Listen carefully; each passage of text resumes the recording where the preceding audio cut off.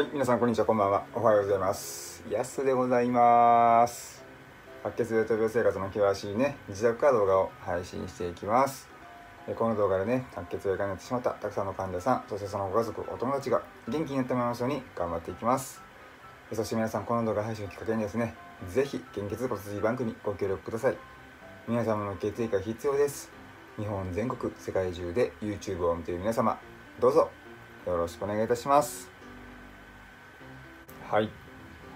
えー今日はね昨日の通院のねあの診察のね報告なんですけどもね、えーまずね内科の血液検査とかねその白血病に関することなんですけどもね。まず血液検査の結果はね良好でございました。あの気になる項目っていうのはですね、まあ、基準値の範囲内でしたね全部ね。あの悪玉コレステロールも中性脂肪もあの糖尿病に関係するそのヘモグロビン A1C ってやつもねあの範囲内でしたのでもうこれまでのねの僕の食生活に関してやってきたことはねまあ特に悪くはなかったんかなというふうにねなります。まあでもしかしですねあのトータルコレステロールというやつがあるんですけどもそいつだけはですねあのまあ血液内の油分だけじゃなくて、まあ、体全体の油分みたいなのでそのね合計して表すトータルコレステロールらしいので、まあ、ちょっと基準値をね超えてましたけどもまあそのそこまで問題ないよと言われましたしあとはまあ飲んでる薬の関係でどうしても上がってしまう項目もあったんですけどもね、まあ、それもね少しだけ超えてました。まあそのね飲んでる薬というのが、まあ、あの免疫抑制剤なんですけどもね。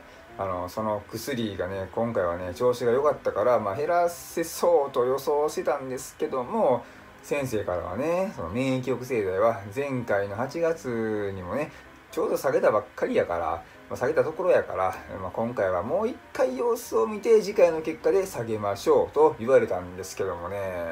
まあそのねそのようにはっきりとね言われたことに対してね僕勘違いをしててもう今、まあ、今回ねその下がると思ったんですよ分量がね。まあ、そのようにねはっきりと言われたことに対してですね僕はね何か勘違いをしていましてもう今回下がると思ってたんですよ。ほんでねまあうわやったーと思って血液検査の結果良かったから免疫抑制剤の飲む分量が下がるわ減るわ思っててね、まあ、そのまま帰ってきてねそのテンション上がったままねその職場のオーナーにね免疫抑制剤がちょっと下がりましたってね連絡してしまいましてね。あのまあ、ほんでねそれ今朝にですよその薬をね飲もうとねその袋を確認したところねそのミリグラム数の数字がね減ってなかったんであれと思って先生昨日下げたって言ってたのになと思ってねあのもうほんまにびっくりして今朝のほんまに今朝ですよ9時になった瞬間にね病院に電話したんですよ。ほんなら、まあ、さっき言われた通りやったんですわ。そのだから8月のね時点で1回下げたばっかりやから、まあ、今回はもう1回だけ様子見て下げましょうって言われたっていう感じなんです。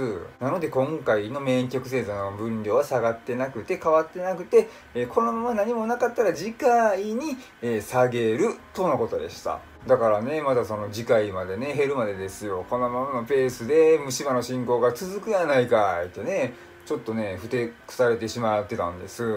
まあねそんな感じで内科は良好でございました。次はね皮膚科なんですけどもね。あのまあ、今年の5月30日からその僕を悩ませていたその帯状疱疹なんですけどもね、まあ、その帯状疱疹をね皮膚科で見てもらったんですけども、まあこれはねその、まあ、昨日の動画でもお話しした僕の予想通りでして昨日でね一応皮膚科は終了しました。ただねその最後にね先生に恐ろしいこと言われたんですよ「やすさんひょっとしたらまたなるかもしれませんよ」でもねそれがいつになるか分かりませんけどもそのやすさんが生きてる間に1回あるかないかぐらいやと思っておいてくださいって言われたんです。でもね僕はね皆さんからそのコメント欄でねその私はその帯状疱疹にね2回もなりましたってっていう人からコメントをいいてるんでそのまあね先ほど先生が言ったその、まあ、死ぬまでに1回あるかないかっていう確率じゃないとは僕はすごいね注意をしております、まあ、先生が言うにはですねその、まあ、免疫力が下がってきたらひょっとしたらなるかもしれないと言っていたのでそのまあコメントをくれた人がねあのどんな過酷な状態でねいらっしゃったのか僕にはちょっと分かりませんけども、まあ、でもその方もね、まあ、免疫力が下がっててすごい辛い思いをされたんだと思います。なのでね、まあ、免疫力を下げないようにね、できることは全部やってね、努力してね、2回目を阻止する思いです。でもまあね、その免疫力製剤を飲んでいたらですね、まあそれこそ免疫力をね、抑制してるわけですから、まあ、その間になるかもしれませんのでね、まあそうなったらまたお世話になるかもしれませんが、でも今回の一件で抗体っていうのができたから、まあ、しばらくね、あのならないでしょうとね、先生も言ってたので、まあとりあえず今回で皮膚科は終了でございます。そしてね、眼科なんですけどもね、まあ、今回も、ね、おかげさまでですね、美人眼科医にね、見てもらうことができたんですけどもね、まあ、ここ最近のね、気温の低下でね、その急に寒くなってきたと思ったらね、空気の乾燥もね、気になり始めたのをいいことにね、あの今回はね目にすごく傷があるとね言われてしまいましてね。この診察室でのね先生の最初のその何て言うんですか指針っていうんですかね。あの機械ねあ顎って顎乗せる機械あるじゃないですか。顎とおでこペッてこうのあの当てる機械ね。でそこにあの青い光とかあの黄色い光とかね当ててあの目の前でこうやってなんか先生が機械動かしながらね顕微鏡みたいな覗き込むでしょ。涙の涙に色つけますねって言われてこう目を押さえられてのなんていうんですかリトマス試験試験紙より細いなんかもう小よりのようなねちっちゃい紙に黄色いねインクみたいなのをねつけて目の上にこうちょんちょんちょんってのせるあの瞬間あれでしょ？あの時間がねめちゃくちゃ長かったんですよ先生がもうあのあれとは言わないですけど、まあ、おかしいなとは言わないですよ。言葉には出さないんですけども、それをこうなんか心で思ってんちゃうかなって思うような、あの、感じでね、僕のこの目をめっちゃ見てたんですよ。右見て左見て。でまた右見てでもう一回左見てっていうふうにして何回も何回も見ててちょっと僕もねあまああの長いこと見てくれてる先生がねちゃんと見てくれてるわ美人眼科医がとか思いながらちょっと嬉しかった反面ちょっと怖かったんですけどもあのその後にですね目の写真を撮ってきてくれって言われたんですよ。目の写真ね。でしかしですねそのいつもねそのまあ診察の前に視力検査があるんですけどもその視力検査が終わって診察室に入る前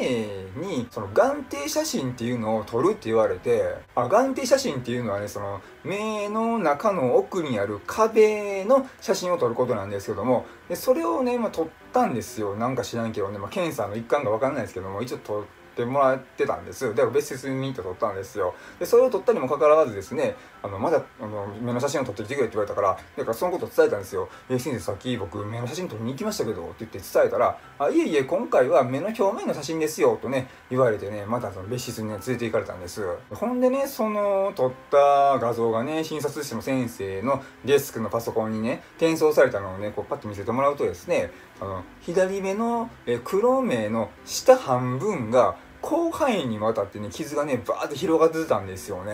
まあ、季節のね、環境の変化が原因でもあるし、でもあの、最大の原因はね、抗がん剤やね、薬によるね、免疫力の低下によるものだそうなんです。まあ、やっぱりね、その骨髄移植を知ったことによって、免疫力製剤を飲んでるのでね、まあ今もなおそれが続いてるわけなんですよ。しかしですね、その今回もね、免疫製剤のね、分量が減らなかったので、まだまだこういった症状っていうのはね、続きそうですわ。あの、えー、先ほども言いました虫歯が終わらないっていうような感じとね、並行してね、あの、目の傷もね、結構続きそうな感じがします。これからもね。とまあ内科、皮膚科、眼科といったね、この3つはね、そんな感じでございました。でもまあね、その血液検査はね、その薬の影響以外のことは、まあ、全て良好だったので、あの糖尿病が再開してなかったので、まあ良かったです。まあそれだけでもね、はっきりしたからね、まあよしとしておきます。まあそんな感じで今日は以上です。えー、最後まで見ていただきまして、ありがとうございました。この動画がいいと思いましたら、グッドボタンとチャンネル登録をよろしくお願いします。そしてね、この動画、このチャンネルがよりたくさんの方々に届きますことを願っております。本日もご視聴ありがとうございました。バイバイ。僕は元気です。